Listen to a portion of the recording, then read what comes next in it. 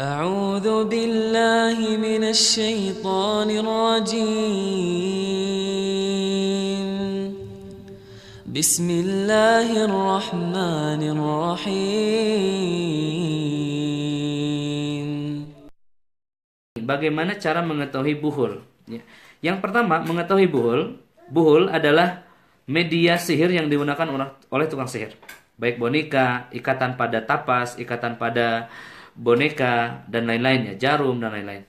Untuk mengetahui buhul adalah yang pertama dengan melakukan rukyah syariah secara kontinu, secara rutin.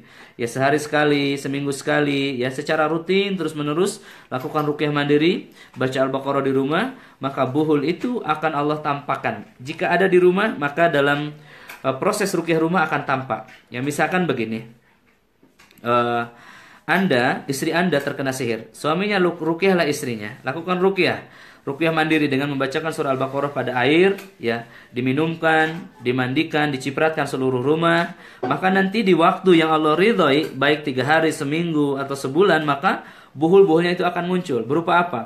Berupa kadal yang mati, berupa cicak yang mati, gosong, berupa semut yang mati, berupa ular yang mati, berupa kalajengking yang mati, berupa eh, kecoa yang mati, ya ataupun harimau yang mati di rumah ditandai dengan munculnya bulu-bulu harimau tersebut. Begitu ahi ya.